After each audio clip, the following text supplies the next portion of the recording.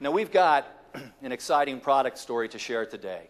You've seen the recent additions to the Hyundai product line, particularly the premium Azera and Veracruz. Today, we've got an even more powerful surprise for you. It's more than a concept vehicle, it's really a fast forward journey into the future of the Hyundai brand, a future that's much closer than you might think. Ladies and gentlemen, Concept Genesis.